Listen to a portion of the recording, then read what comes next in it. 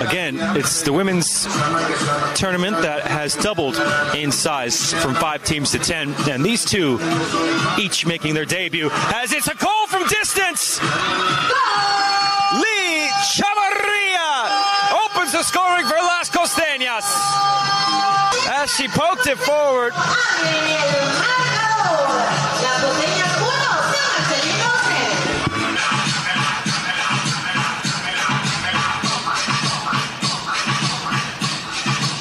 Gonzalez! Oh! And it's the first goal of the tournament for San Marcelino. In fact, it's the backup goalkeeper who's in, Vilma Romero, the first goalkeeper goal of the 2024 America's Winners' Cup. She cuts the deficit in half. It's now Las Costeñas 2, stopped by the tackle of Maria. Ali switching it. Magnificent effort from long range. What a goal from Astrid.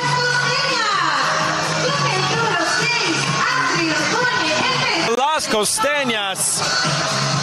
That had eyes for the corner. Immediately. Oh, Porta. Forward to Lee.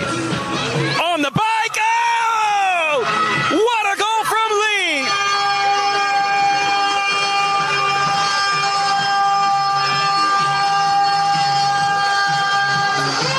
For Lee Chavarria.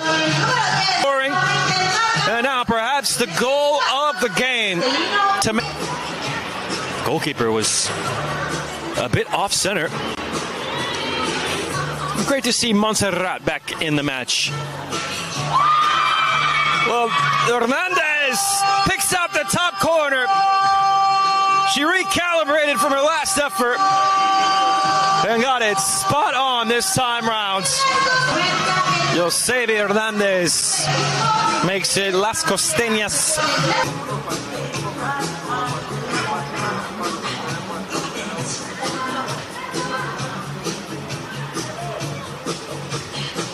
Cerdas ships it over. Cerdas, it's brilliant!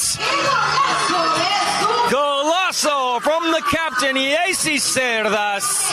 Nonchalant shifts to her right before unleashing that howitzer